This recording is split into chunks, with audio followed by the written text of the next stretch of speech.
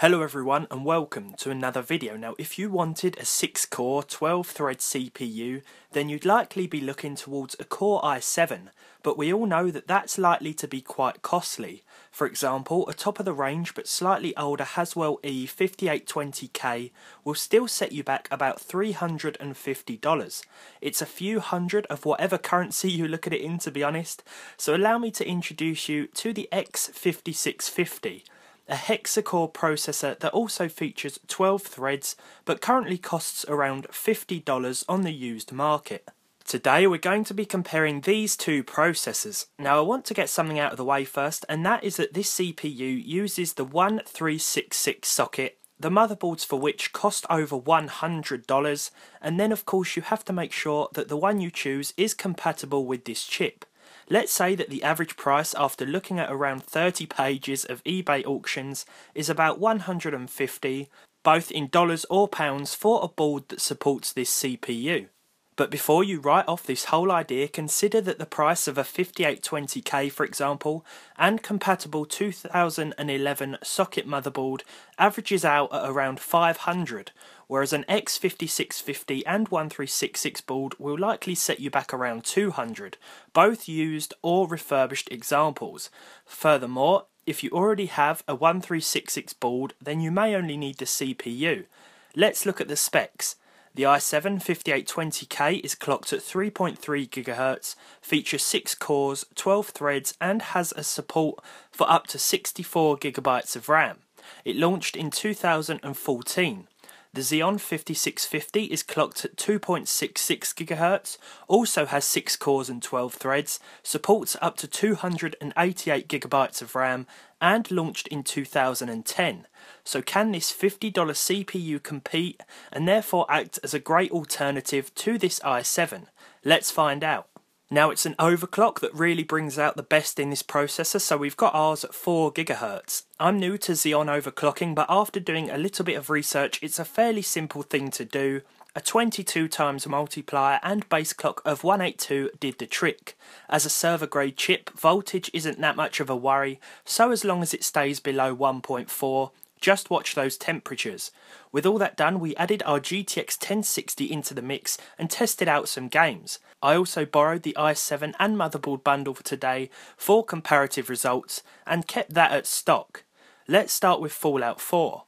Now we've turned everything up to Ultra 1080p including anti-aliasing to achieve a very buttery smooth 77 frames per second over a half hour playtime.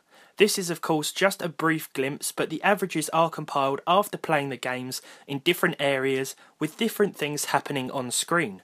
In comparison, the i7 got 85, so we've started off quite closely.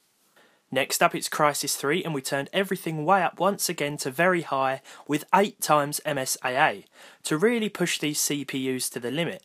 It's no surprise that this was quite crippling and an average of 33 frames per second seemed poor in comparison to Fallout 4, but you have to remember Crysis 3, just like the original, still brings PCs to their knees. Our $350 Core i7 didn't seem much different here, as it stuck to around 32, but with one frame in it, this was pretty much an equal affair. GTA 5 now with everything up to Ultra with MSAA off, the Xeon 5650 at 4GHz achieved 65 FPS. We kept MSAA off here despite still being able to see 52 frames with it on. GTA 5 and Fallout 4 always seem to perform very similar, so chances are if you have a system that runs Fallout 4, it will run GTA 5. Anyway, our i7 5820K was in the lead again here with 72, but I'm still impressed considering the price difference of these two chips. So finally, let's play some Metro Last Light Redux. Once again, 1080p with very high settings, but we made sure to turn the in-game SSAA option off, as it can be very unnecessarily taxing. With our $50 X5650, we hovered around the 62 frames per second point and experienced far more frequent frame drops to be honest. Nothing that made the game unplayable, but I feel the need to mention it regardless. Whilst our i7 this time was actually a little worse off at 59, there were reduced frame drops, which I can't quite explain away. But our now budget Xeon seems to have come out doing alright. To conclude, this little chip is very impressive, and it was only after reading about it on a forum that I discovered its potential. Whilst it is cheap these days at way under $100, you have to remember that a motherboard will set you back three times the cost of this CPU. But that is still cheaper than buying an i7 on its own.